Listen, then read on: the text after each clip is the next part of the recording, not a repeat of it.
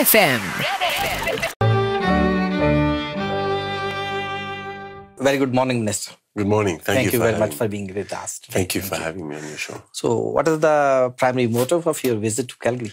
Uh, it's a number of things. Uh, reconnect with the community, of course. Uh, we have uh, a number of events planned, uh, some related to my portfolio as Minister of Immigration, others uh, just connecting with uh, friends here as well. You launched the Family Reunification Program. It was uh, uh, a renewed program, but people are not very well satisfied with this new system because uh, it opened and it ended. Yes. So, what do you have to say on this? Uh, you know, I, I want to first of all just remind you where we were. Uh, we inherited a system where people were waiting seven to eight years to bring their um, parents or grandparents, and uh, there was only five thousand spaces available available for people to sponsor their parents and grandparents. And in addition to that, uh, what we inherited included a backlog of over 160,000 people. So what we've done is cleared that backlog, uh, majority of it, reduced the processing time from seven seven years to eight years to down to 21 months, uh, and increased the spaces available for people from five years, uh, sorry, from 5,000 spaces Yes, to 20,000 spaces. that's that. Uh, remember, we had promised to only double it to 10,000. So we Yes. did, we doubled it again to 20,000. But the program is very popular. And that's why it filled up so fast. The system operated smoothly. There was no technical glitches. Uh, we received, we basically got the first 27,000 applications to account for any duplication. But, uh, you know, I'll be, of course, traveling across the country to make sure that we get feedback from Canadians on, on how they feel about this new system. As you remember, we used to have a first come, first served uh, system where agents and other people would line up at uh, Yes. immigration offices, and people didn't like that system because Yes. it meant that if you paid more money to agents, you would be first in line. So uh, we introduced, as a government, the lottery system, the random selection process, as a way to kind of even the playing field. Uh, last year, uh, we spoke to Canadians across the country, and people didn't like that as well. So they said we should go back to the first come first served system, but online, so that you cut out the agents and, and the middle the middle people, and uh, it gives everyone an equal chance. Now people are saying that even though we've increased it four times and we put we went back to the first come first served, some people are not happy because they didn't get in. I would say to those people that uh, they should, in the meantime, uh, try the super visa to reunite with their parents for at least a period of up to two years, and then try again next year. Yeah. So the Hindu Sikh families are coming from from from Afghanistan directly, and uh, it is with the help of uh, the federal government's program that they have been facilitated. And uh, what do you have to say on this? So how difficult was it? Because they are not, uh, they were not as such the refugees living somewhere. It uh, the the Manmeet Singh Bhullar Foundation uh, helped it out. So what do you have to say on this? Well, uh, you know, Canada has, uh, as as a government, the Trudeau government has been very strong when it comes to standing up for human rights on the international stage, making sure that we fight for the rights of religious minorities everywhere, and that includes looking at uh, ways to um, utilize our immigration system to to help the most vulnerable. And uh, through our private sponsorship system, we've been able to work very closely with the Manmeet Bhullar Foundation and folks from that organization to sponsor a number of families. Uh, as you know, Sikhs and Hindus in Afghanistan, uh, a religious uh, minority that is very vulnerable. And uh, the Manmeet Bhullar Foundation uh, has, uh, has been working very hard to, uh, to afford protection in Canada by sponsoring a number of families who were originally from Afghanistan, who then trans- transited through India. We've been working closely with, with the foundation.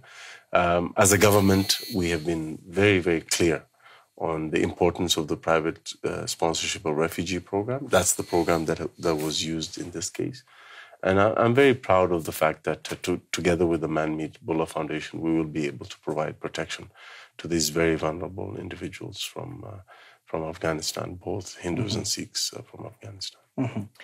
You just announced a five-year program for the for the caregivers, and yes. uh, it was a new program, and it has been welcomed widely for sure. Absolutely. But there are some questions that uh, move around the restrictive requirements. Mm-hmm. So uh, some people are demanding, maybe from the from the profession, yeah. that these requirements are uh, that where they can be uh, exploited. So, do you have any idea about those? Things? How so?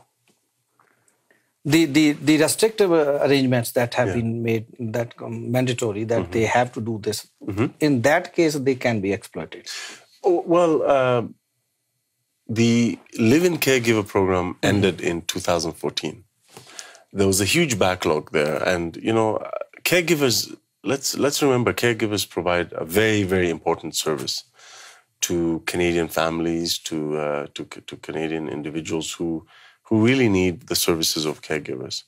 And even though the, the caregivers were providing this really important service, mm-hmm. we weren't reuniting caregivers with their own families yes. fast enough. I remember meeting one caregiver uh, who had been trying to reunite with her family for seven years. Finally, was able to do that, but had to wait for seven years. And her story is not uh, is, is unfortunately very common. Mm-hmm. So, what we try to do as a government is to say, okay, with the live in caregiver program, let's finish the backlog and then introduce new programs to take into account all the things that are frustrating the caregivers because they provide an invaluable service. So, a lot of the changes came from engagement with the caregiver community. I have met with my, myself and my colleagues uh, have met uh, a number of caregiver communities through different town halls and engagements and roundtables to hear directly from them what we should do differently. But first, we had to fix all the consequences, the negative consequences from the old uh, live-in caregiver mm-hmm. program left behind by the conservatives. So under that program, again, it, it sounds like uh, you know I'm repeating the same thing, but it's a, it's the same as the parent and grandparent program. We inherited a backlog there five to seven year wait times, thousands of people in backlog. We, you know, so I promised the caregiver community last year that at the end of 2018, we will eliminate 80% of the backlog yes. left behind from the live-in caregiver program. We actually did better. We, mm-hmm. we eliminated and reduced the backlog by 94%. Oh, wow. So, mm-hmm. so really, you know, we, we exceeded the promise. Mm-hmm. So the caregiver, the live-in caregivers who are in backlog are very happy with us because families no are being reunited. Yes. Number one. Now, moving forward, how do you prevent this from happening again? Mm-hmm. Well, how about just allowing caregivers, if they qualify as caregivers to come to Canada, have them bring their family. Have they bring their spouse and their children. That way, there's no family separation. Mm. And do the credentials and the qualifications check before they get to Canada. Mm-hmm. See, in the past, people would come and start working in, in the caregiver field here and then apply for PR. And then we would say to them, oh, you don't qualify. So people are stuck, right? So why not check all those requirements before they get here? Mm-hmm. The way we do that with other immigration streams, yes. right? Especially in the economic category. So under the new, the two new pilots, one is for um, caregivers for children, and the other one is caregivers for people with high medical needs, right? Mm-hmm.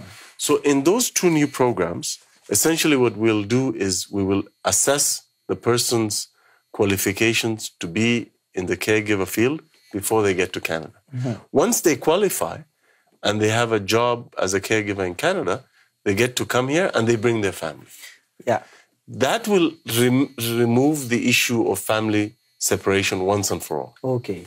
That's great. And then, in addition to that, the thing that they were really concerned about the caregiver community is to uh, preserve their access to permanent residency. Mm-hmm. So we said, okay, after you arrive in Canada, if you work in the caregiver field for two years and you don't obviously do anything else that makes you inadmissible to Canada, like commit That's crimes right. and things like that, mm-hmm. you know, as long as you do your job and you're in Canada for two years and work in the caregiver field, then you can apply for PR after mm-hmm. two years.